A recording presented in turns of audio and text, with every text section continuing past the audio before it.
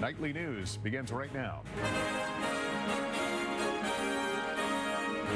From NBC News World Headquarters in New York, this is NBC Nightly News with Lester Holt. Good evening. In a state still. Before we go, as of tonight, this program has a new name, and I'm honored to say a new anchor. Your loyalty and viewership during a difficult time has been appreciated by all of us on this program. And I want to express my sincere thanks to my friend and colleague Brian Williams for his kind words of support. We hope to see all of you each and every night. That's going to do it for us on this Monday night. I'm Lester Holt. For all of us at NBC News, thank you for watching and good night.